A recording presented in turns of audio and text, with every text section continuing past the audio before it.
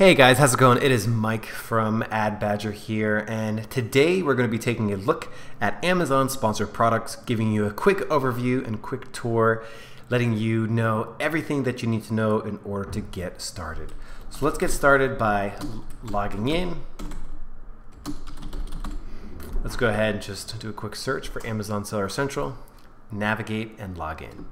Once you've logged in, go ahead and go to Advertising Campaign Manager.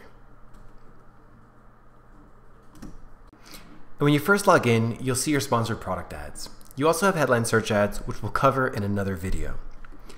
The first thing that we'll take a look at is just the overall structure of what it is that you see. I can see all, all my campaigns. I can see the status of each campaign, whether or not it's running or paused.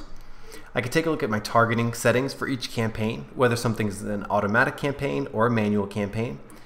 Any start and end dates, usually you probably won't have an end date daily budget, how much I've spent, how many sales that's generated, and what the ACOS is of those sales, ad cost of sales. Essentially, it's just ad cost over sales. So you can see here that I've spent 20,000, I've generated about 507,000 of sales for an ACOS of about 4%.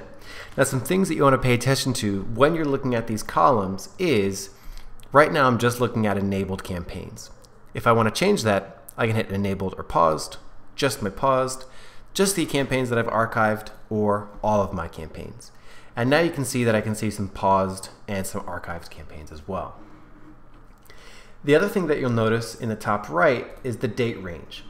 You can customize your date range to look at any date that's meaningful to you. You can also go ahead and select a pre-made date range from Amazon, something like last month, for example. You can then also click on columns and you can have everything from targeting impressions, clicks, click-through rate, cost per click, and orders. Now let's dig in from campaign to an ad group level. Let's go ahead and click on a single campaign. And when you do, you'll see the ad groups related to that campaign. If it's an automatic campaign, you can go ahead and set your bid at this level. Uh, one thing that you'll notice is our columns have changed. So you have more options as you go through each level of your account.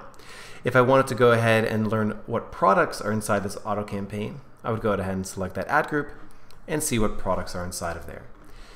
One thing you can do here is sort your columns. So if you click on the top, you can see that it's just sorted by the amount of clicks. If I click that again, it will put that in reverse order for me. Now, you'll notice that when I did that, there were a lot that didn't have any data yet. So if I want to, I can add a filter that basically only show me things that have greater than zero clicks.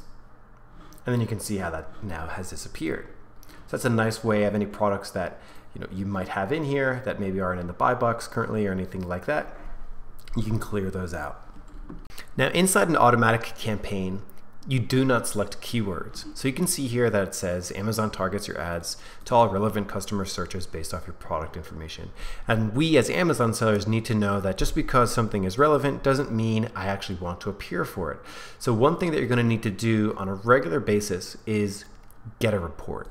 And when you click this report, essentially what it is that you'll see is the search term report. These are all the terms that your automatic and your manual campaigns have appeared for. Now we're going to cover reporting in a separate video, but for right now, just be aware of where to find this information. Let's go back.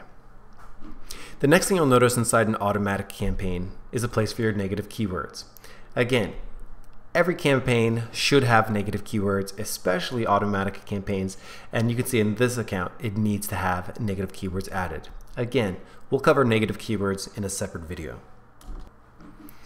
I wanted to take a moment and just jump into a manual campaign because there's a few differences. The first difference that you can see is that when you dig in, here is where you will find your keywords. We have a new keywords tab, and this time in a manual campaign, we actually have keywords to choose from. Now there's a lot of nuanced strategies when it comes to your keywords in your automatic campaigns, which we'll save for future videos, but for right now, just be aware that that's the biggest difference between an automatic and a manual campaign. And the last thing we're going to cover is just starting a brand new campaign. So whenever you start a new campaign, I like to do a few things. I like to put the product, I like to put my target ACOS, and any other details that you have inside of it that are make it easy for you to easily identify what's going on inside the campaign. But at the very minimum, product or the product family and the target ACOS. Pick a daily starting budget, automatic or manual targeting.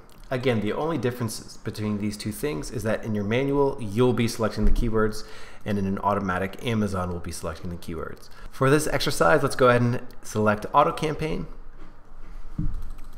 Again, the same rule applies. You want to have descriptive campaign and ad group names. At the very minimum, product or product family and your target ACOS. Go ahead and select what product you want to go inside of this. Default bid can usually be started. Again, we're going to cover in other videos how to improve your bids over time. So what you start at isn't as important as a strategy that you use to improve it over time. As soon as I click save and finish, I've launched an automatic campaign. Pretty easy.